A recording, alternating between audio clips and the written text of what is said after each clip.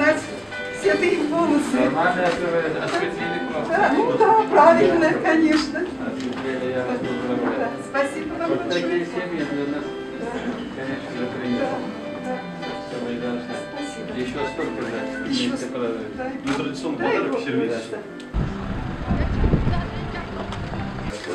В прошлом году 2500 по этому маршруту направили. В этом году уже 3200. И он очень интересен не только российским туристам, но и иностранцам. А, Вы поддержали уже ремонт э, сельского дома культуры в Атабаево. Но есть еще некоторые моменты по маршруту для более комфортного пребывания туристов, которые пока не сделаны. Там реконструкция музея русской культуры в селе э, Никольское. Там же торговые ряды для того, чтобы туристы могли какие-то сувениры купить. И э, обустройство смотровой площадки в Атабаево, и парковка для туристических автобусов около э, сельского дома культуры Атабаева и около сельского дома культуры в.